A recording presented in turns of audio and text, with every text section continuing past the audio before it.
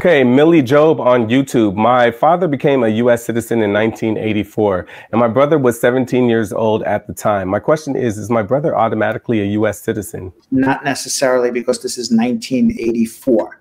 So the citizenship laws changed in October of 2000.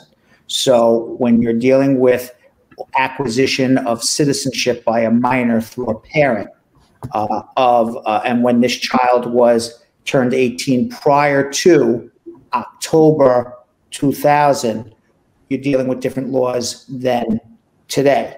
Today, yes. Back then, we would need to know more information. There would be four ways in which your brother at age 17 would be a citizen to a parent. One is both parents were citizens before he was 18. Two is mom's a citizen. Mom was never married to dad. Nobody knows who dad is.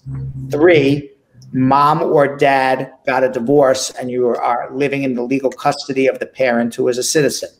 Or four, mom is dead or dad is dead and you live in the physical and legal custody of that other parent. So in this particular case, the only way this 17 year old kid is a US citizen prior to his 18th birthday through acquiring it automatically through the father is one, if mom and dad uh, were divorced and the 17 year old lived with the dad, or two, the 17 year old lived with the dad and mom died before he was 18. Thanks for watching. For more Brad Show Live, like and subscribe to our YouTube channel.